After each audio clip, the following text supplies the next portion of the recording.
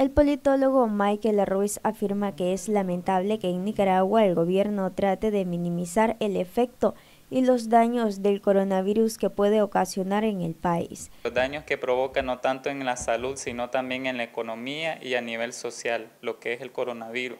Yo creo que, como muchos expertos lo catalogan, es una medida negligente eh, dado que su, incluso sus homólogos regionales, los presidentes de los países centroamericanos han tomado medidas, ya sea parciales, cuarentenas parciales, toques de queda de determinada hora, pero acá en Nicaragua se mantiene un discurso de no alarmarse, de que todo está normal y esto pues en su momento va a tener bastante estrago.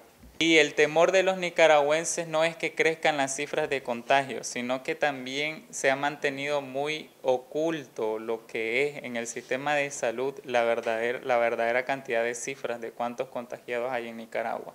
Y este, eh, e, este actuar del gobierno lo que causa más bien extensión en la población, desesperación al no conocer verdaderamente el alcance que está teniendo el virus en nuestro país y de qué manera nosotros podemos cuidarnos. Recientemente el gobierno acaba de confirmar dos casos nuevos de esta enfermedad. Los afectados son provenientes de los Estados Unidos, un hombre y una mujer de las edades de 52 y 70 años. Noticias 12, Darlene Telles.